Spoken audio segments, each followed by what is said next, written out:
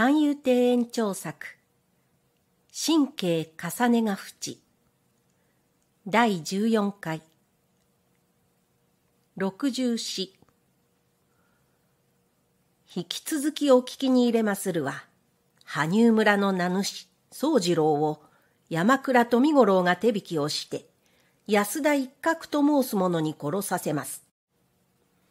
これは富五郎が宗次郎の女房お墨にぞっこん惚れておりましても、宗次郎があるので邪魔になりますから、いっそ片付けて自分の手に入れようという悪心でござりますが、田舎にいて名主を務めるくらいであるから、宗次郎も剣術の免許ぐらい取っております。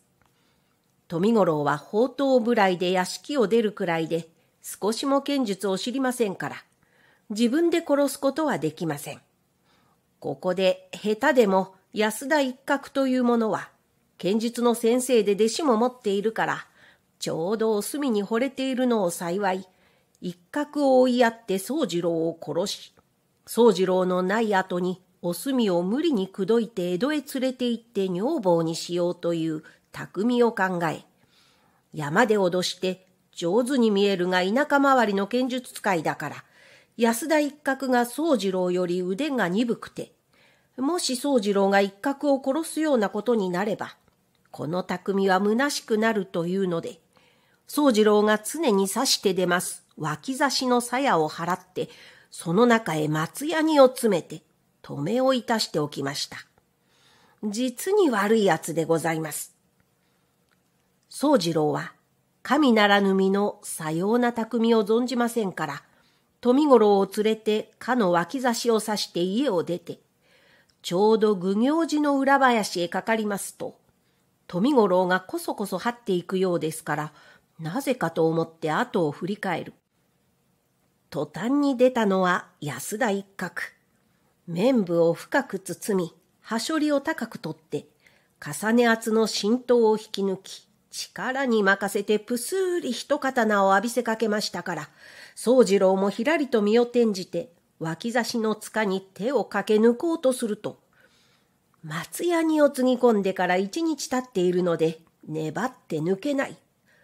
脇差しの抜けませんのに苛立つところをまた一刀、ばっさりと、骨を切れるくらいに切り込まれて、向こうへ倒れるところをまた一刀浴びせたから、宗次郎は残念と心得て、脇差しの鞘ごと投げつけました。一角がつと身をかわすと、肩のところをすれて、すすきの根型へズボンと刀が突っ立ったから、一角は糊を拭いて鞘に収め、海中へ手を入れて三十両の金を胴巻きぐるみ盗んで逃げようとすると、向こうの方から蛇の目の傘を差し、高下駄を履いて花車重吉という相撲が参りました時には、一筋道でどこへも避けることができません。一角はうろたえて後へ帰ろうとすれば村が近い。仕方がないからさっさっとそばのすすき畳の影のところへ身を潜め、小さくなって隠れております。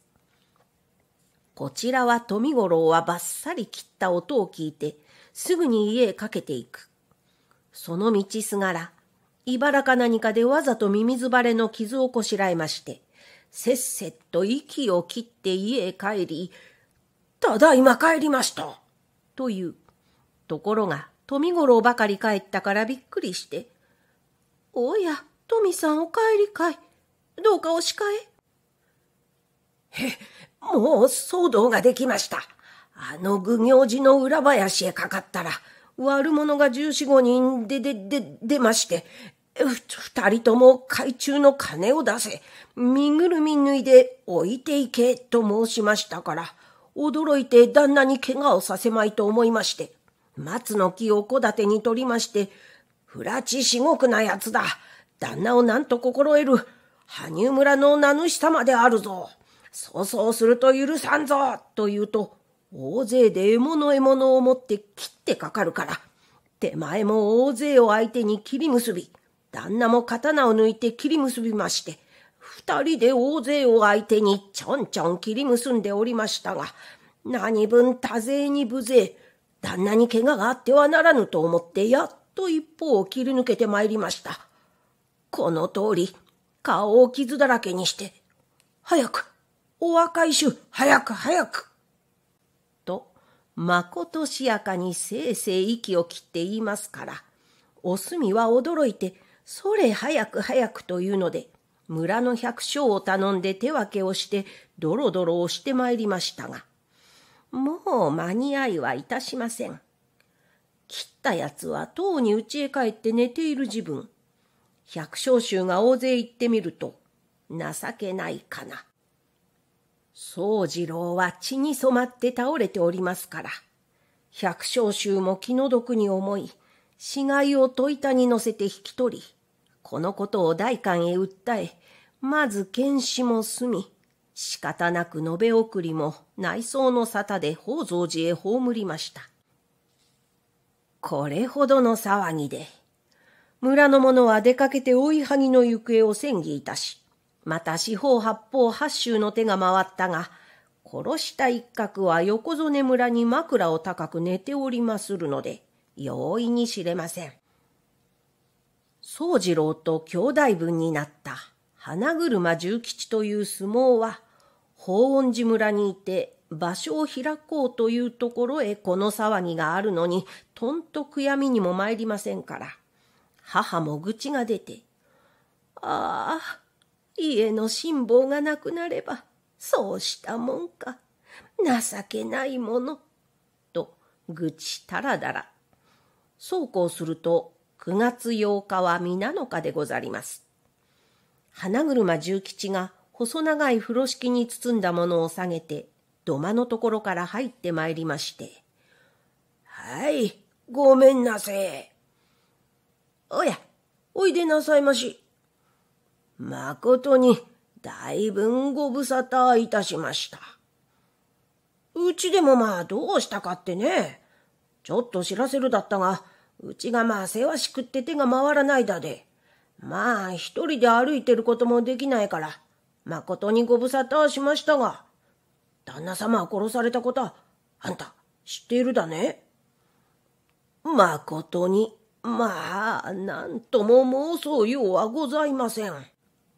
知っておりましたが、旦那とわしとは別婚の間柄だから、わしが行って顔を見せれば、おっかさまやおすみさんになおさら嘆きを増させるようなものだから、それゆえまあ、知っていながら遅くなりました。助けさん、とんだことになりましたね。とんだにも何にも、たまげてしまってね。おかみさんは、ああ、年取っているだから、愚痴言うだ。花車はうちに奉公したもので、ことに相撲になる事前の旦那様のご丹精もあるとね。宗次郎とは兄弟じゃねえか。それでこの騒ぎが法恩寺まで死んねえわけやね。知ってこないのは不実だが、それとも死んねえか？江戸へでも帰ったことか？と、おかみさんあんたのことをば言って、ただ騒いでいるだ。どうか言って心が落ち着くように気休めを言ってくだせえ。泣いてばいいるだからね。はい。来たいとは思いながら少し訳があって遅く参りました。ま、ごめんなせさあ、こっちへお入り。というので、風呂敷包みを下げたなり、奥へ参ります。来てみると、こう花は始終絶えませぬから、そこらが先行くそうございます。狼さん、法恩寺の関取が参りましたよ。いや花車が来たかい。さ、こっちへ入っておくんなせ。はい、狼さん。なんともこの度は、もうそうようもございません。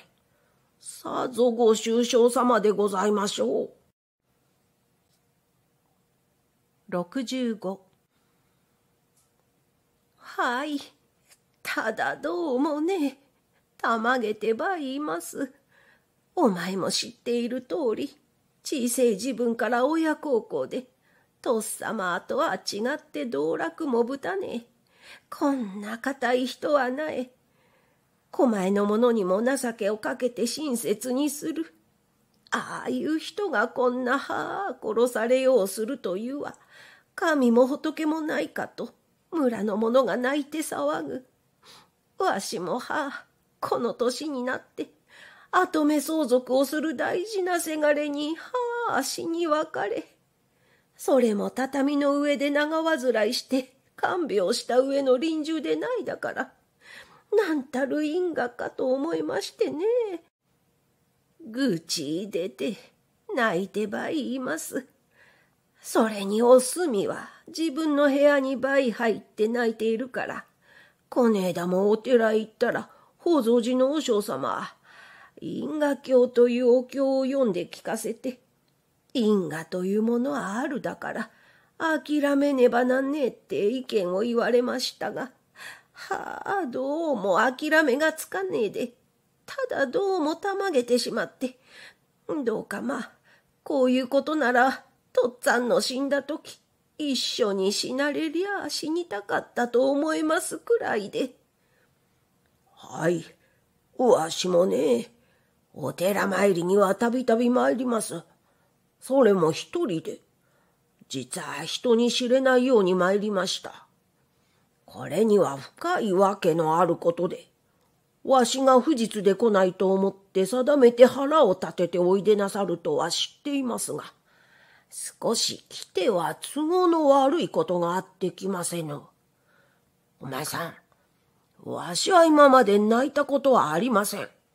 また大きななりをして泣くのはみっともねえから、メロメロ泣きはしませんけれども、他に身寄り兄弟もなし、十吉手前とは兄弟分となって、何でもお互いに胸にあることを打ち明けて話をしよう。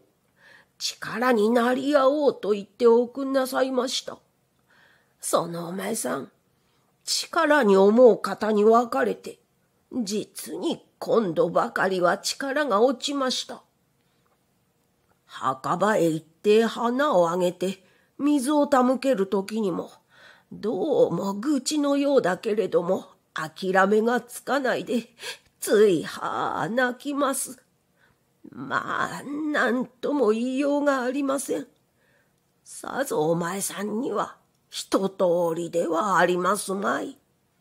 お察し申しております。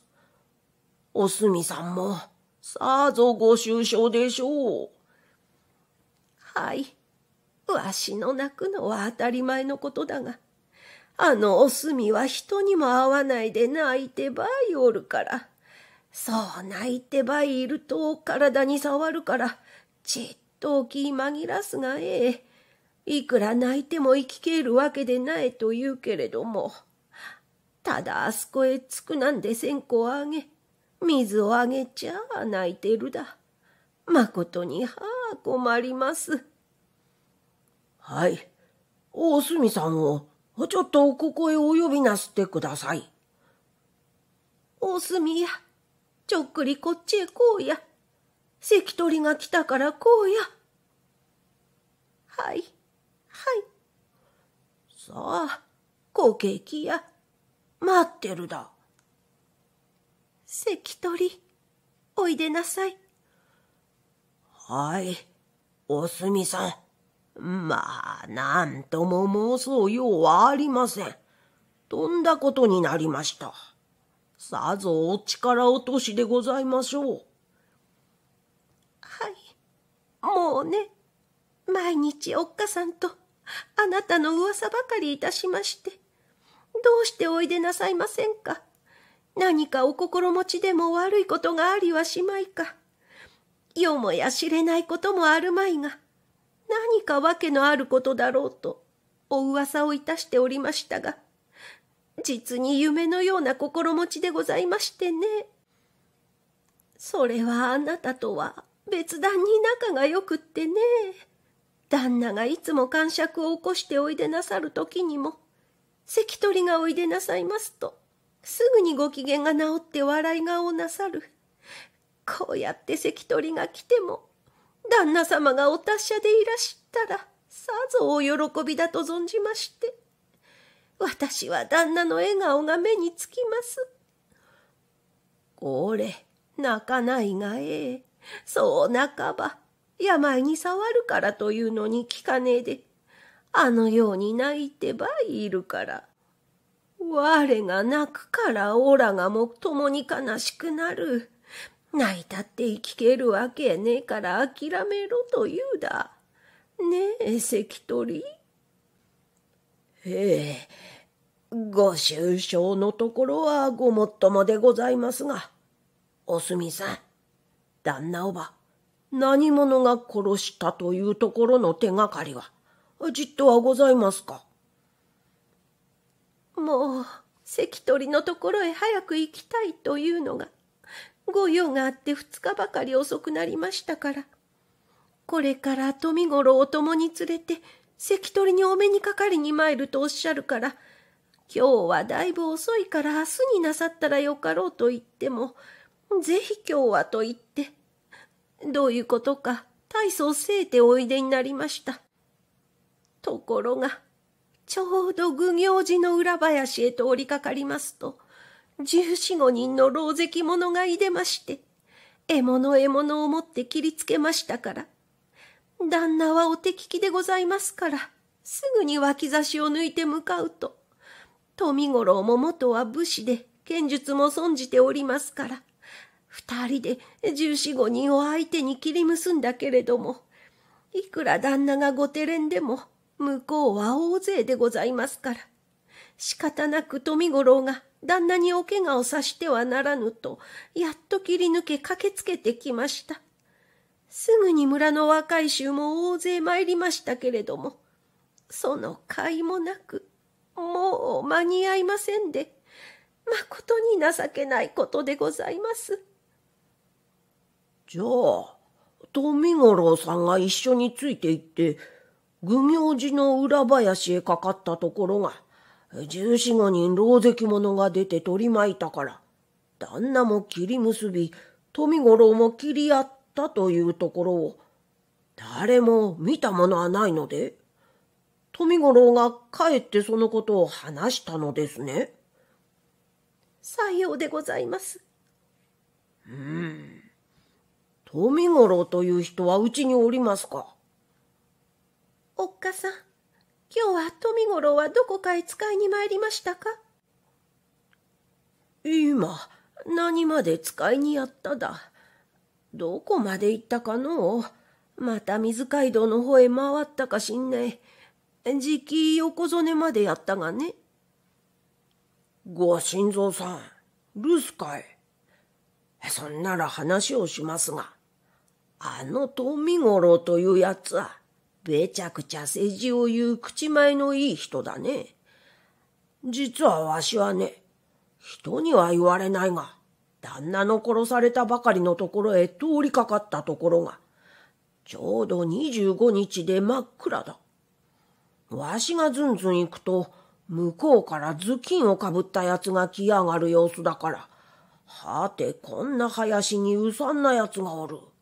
ことによったら盗賊かと思うたから、油断せずに透かしてみると、そいつが脇道へ曲がって、向こうへこそこそ入っていくから、何でもこれは怪しいと思うて、急いで来ると、わしの下駄で蹴りつけたのは脇差しじゃ。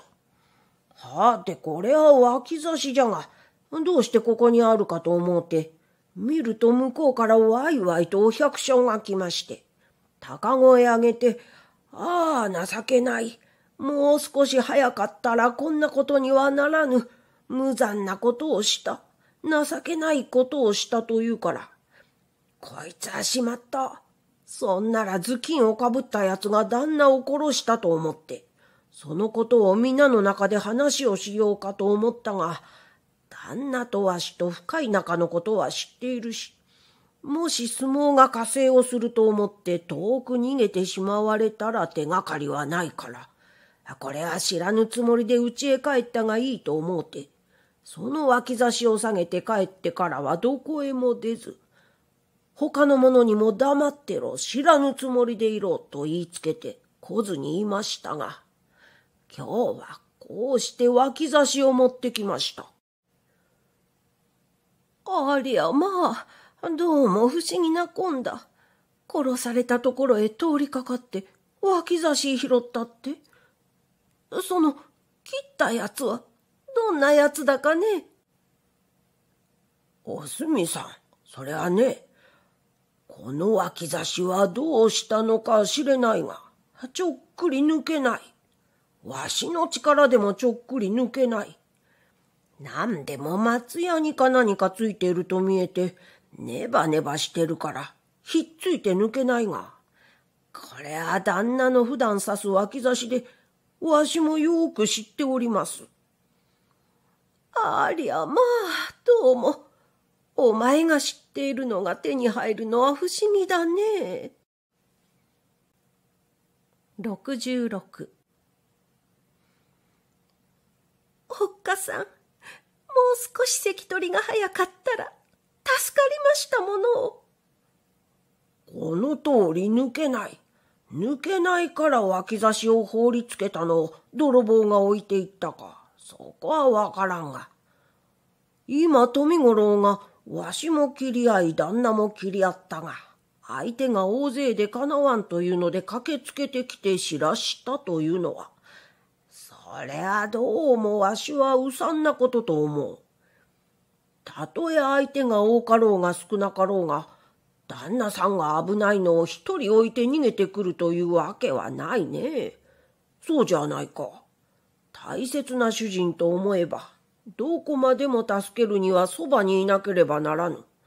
それを置いてくるとは、怖いから逃げたとしか思えない。旦那が脇差しを抜いて切り合ったというが、抜けやしない。ねえ、どうしても抜けない刀を抜いて切り合ったという道理がないから。どうも富五郎というやつが怪しい。というわけは、おすみさん。去年の秋、大名号の天神前で喧嘩を仕掛けたやつが、お前さんが麹屋にいた自分、おすみさんに惚れていて冗談を言ったやつがある。ところがおすみさんは硬いから、いうことを聞かんで跳ねつけたのを遺恨に思うているということを知っている。ことによったら、安田一角が旦那を切って逃げやしないかと考えた。ついては山倉富五郎という野郎は、口前はいいやつだが心に情けのない欲張ったやつだから。ことによったら一角においでおいでをされて、美薬をもろうて、一角の方について、あいつが手引きをして殺させやせんかと思う。それ、この通り、抜けぬのに抜いて切り合ったというのが第一おかしいじゃないか。あれやまあ、そこらには気がつかんで、ただまあ頭げてば言いました。ほんにそうかもしんねえよ。その頭巾かぶったのは、どんな格好だっきゃそれは闇だからしっかりわからんが、一角じゃないかとわしの心に浮かんだ。こうしておくんなさい。わしは黙って帰るが、富五郎が帰ったら、今日花車が悔やみに来ていろいろ取り込んだことがあって遅くなった。ついては脇へ二百両ばかり貸したが、どう掛け合っても取れないから、どうかして取ろうと中へ人を入れたが、何分取れないが、もし富五郎さんが間へ入ったら、向こうのやつも怖いから返すだろう。もしお前の腕から二百両取れたら、半分は礼にやるが、どうか催促の掛け合いに行ってくれまいかと、花車が頼んだが、行ってやらんかと言えば、欲張っているからきっとやってくるに違いない。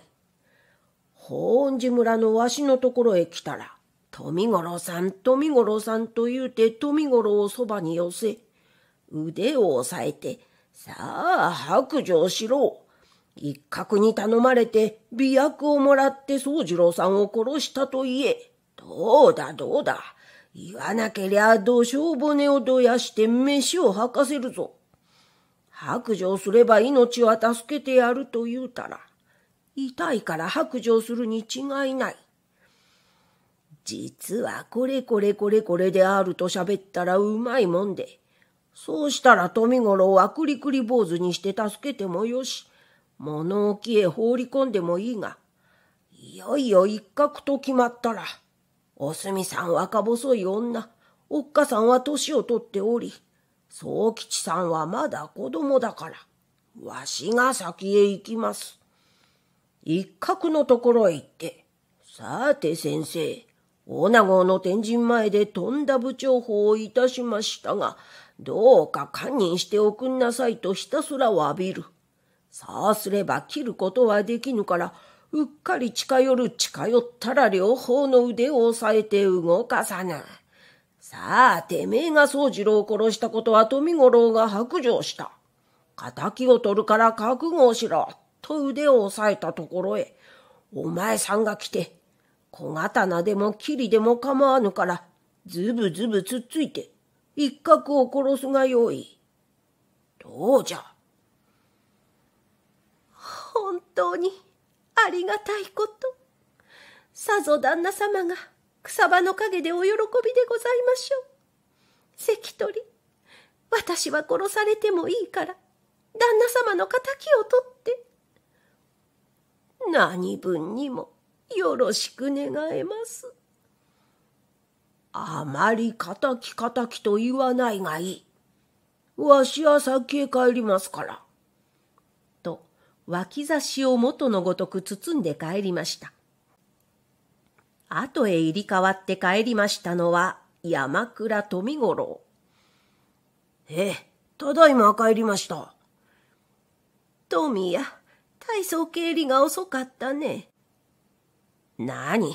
帰りがけに宝蔵寺様へ回りまして、幸いいい花がありましたから、お花を手向けましたが、お墓に向かいましてな、実に残念でございまして、なんだかこないだまで、とみとみとおっしゃったお方がまあ、どうも、石の下へお入りなすったかと存じましたら、胸が痛くなりまして、嫌な心持ちで、また家へ帰ってあなた方のお顔を見ると、胸が裂けるような心持ち。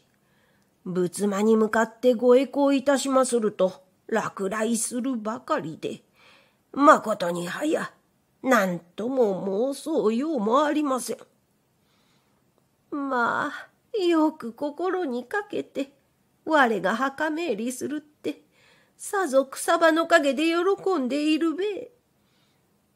どうも別に恩返しの仕方がありませんから、お墓参りでもするより他は仕方がありません。仏様にはお念仏や花を手向けるくらいで、ご恩返しにはなりません。それより他、仕方がありません。へえ。あの、富さん、さっき花車関が悔やみに参りましたよ。おやおやおや、さようでござりましたか。へへ、なるほど。どうなすったかご存じないのかと思いましたが。何、知ってたてや。知ってたけれども、早く来て顔を見せたら、不敬なじみの中だで、おめえ出して嘆きが増してかかさまが泣くべ。それにいろいろ用があってきねえでいたが、悪く思ってくれるなって、でかいから出して泣いただ。そうでげしょう。兄弟の義を約束した方でございますから、さぞご愁傷でげしょう。お察し申します。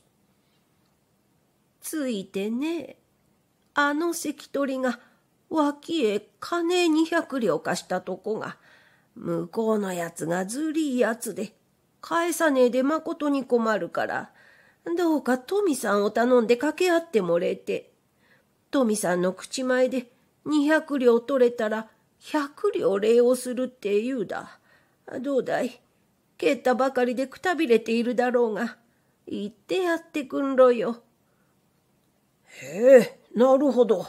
関取が用だったとこが、向こうのやつが返さんのですか。なにすぐに取ってあげましょう。造作もありません。百両。百両。なあに金なんぞお礼にいただかぬでも、ご官位の間でですから、すぐに行ってまいります。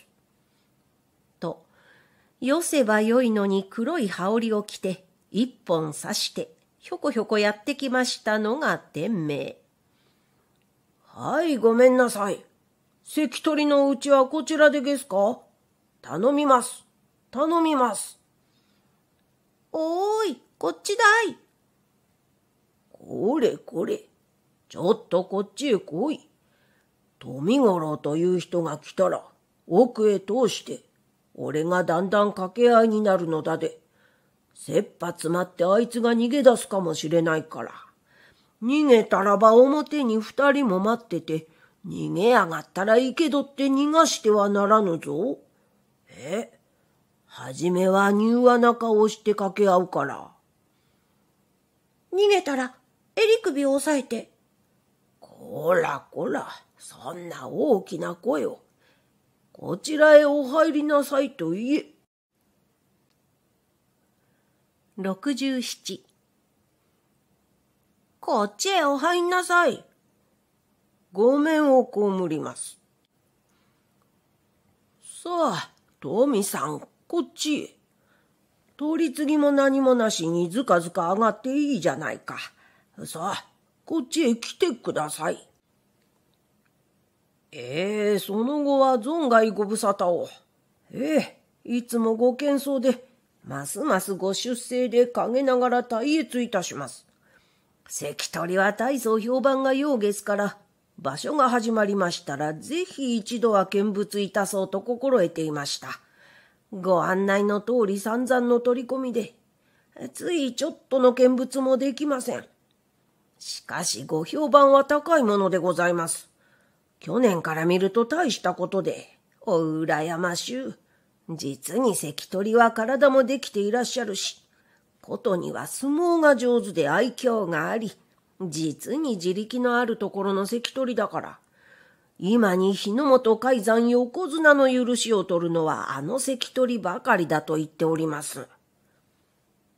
余計な世辞はよしてくだせえ。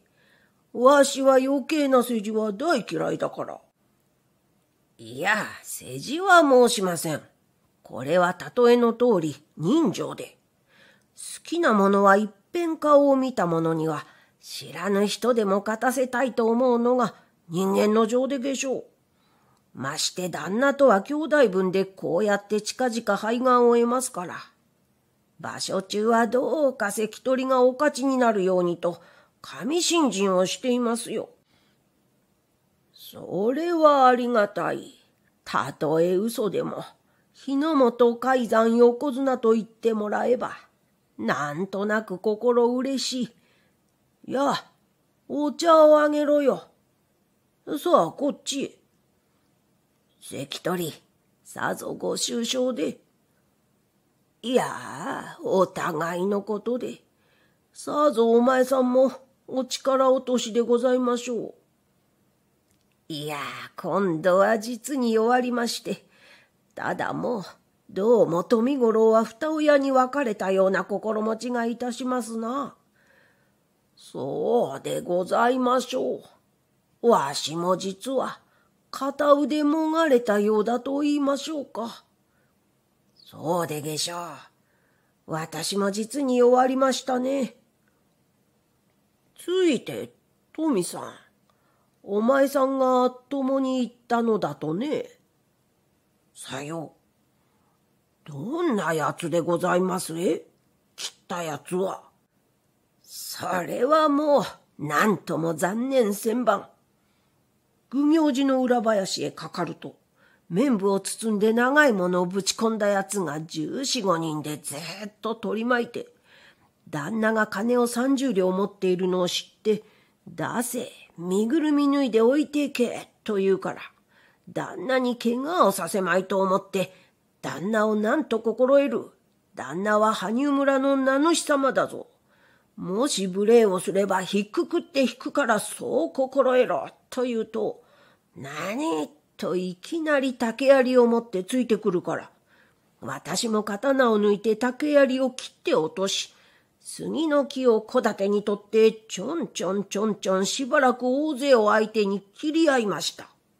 すると旦那も黙っている気性でないから、すらり引き抜いて一生懸命に大勢を相手にちゃんちゃん切り合いましたから、刀のとっさきから火が出ました。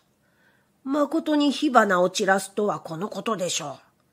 けれども、多勢に無勢という例えの通りで、とてもかなわぬから、旦那に怪我があってはならぬと、危ういところを切り抜けて駆け込んで知らせたから、そら早くというので大勢の若い衆がどっと来てみましたが、間に合いません。実に残念で、どうも。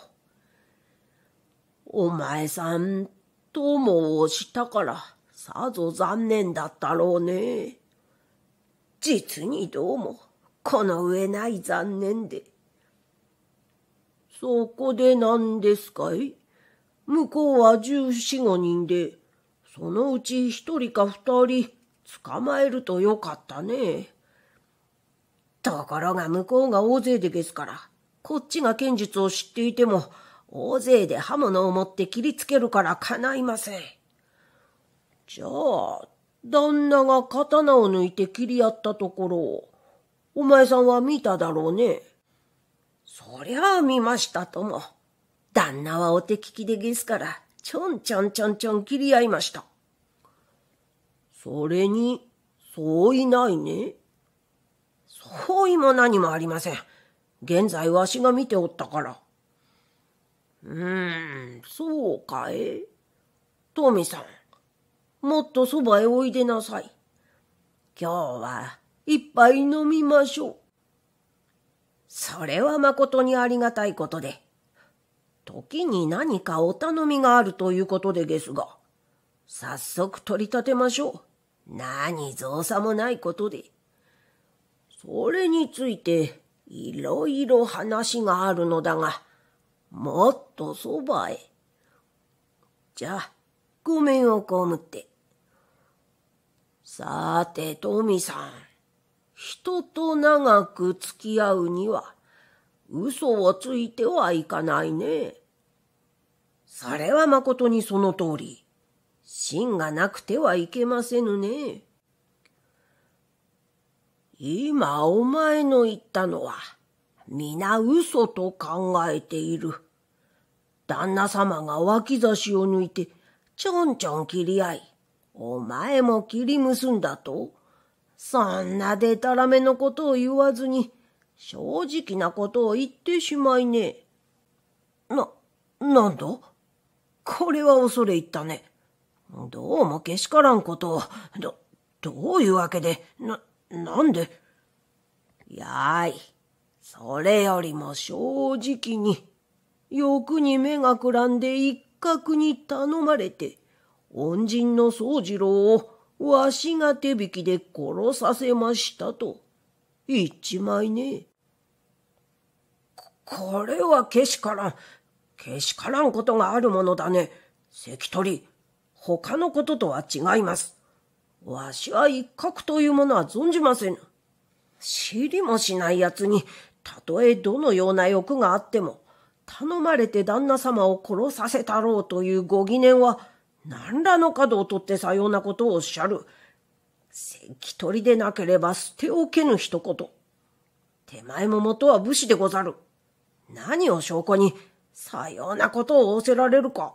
関取、受けたまわりたいな。そら、つくない。正直に言ってしまいな。てめえが美薬をもらって、一角に頼まれて旦那を引き出したと言ってしまえば、命ばかりは助けてやる。相手は一角だから仇を撃たせるつもりだが、どこまでも隠せば、よんどころなくおめえの背骨をどやして飯を吐かしても言わせにゃあならん。これは、どうもけしからん。関取の力で撃たれりゃ飯も吐きましょうが、ど、ど、どういうわけで、え、けしからん。な、な、何を証拠に？そんなら見せてやろう。これは、その時旦那の刺していった脇差しだろう。これを刺して出たことは聞いてきたのだ。さあどうだ？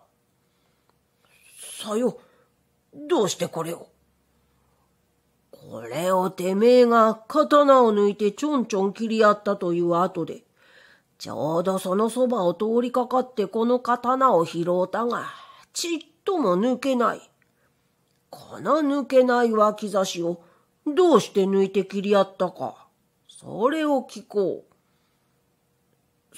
そりゃ、そりゃわしが転倒いたした。何が転倒した？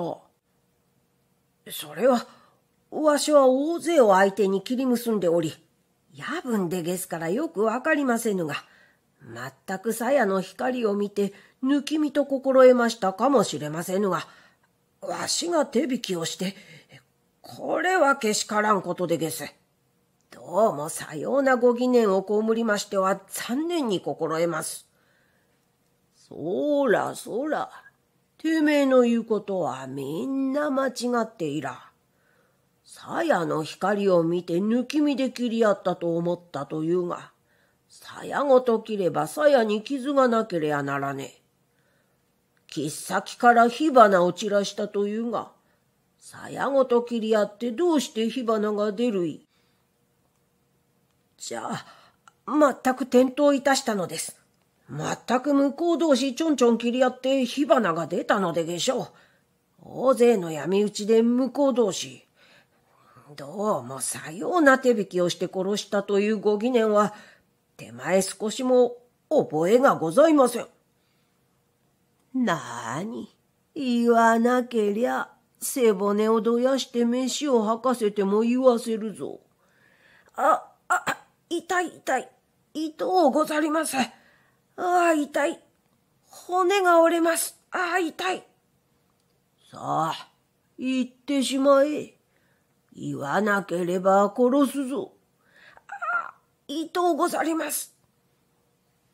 いやよく考えてみろ。実は大恩があるのにすみませぬが、旦那はわしが手引きをして殺させました。その申し訳のために、わしは坊主になって旦那の追善供養をいたしますと言えば、おかみさんに命乞いをして、命だけは助けてやるから。一角が殺したと言ってしまえよ。言ってしまえとおっしゃっても、あ、痛い、痛うございます。だから、わしは申しますがね、あ、痛い。これはどうも恐れ入ったね。ああ、痛い。腕が折れます。ああ、申します、申します。申しますからお話しください。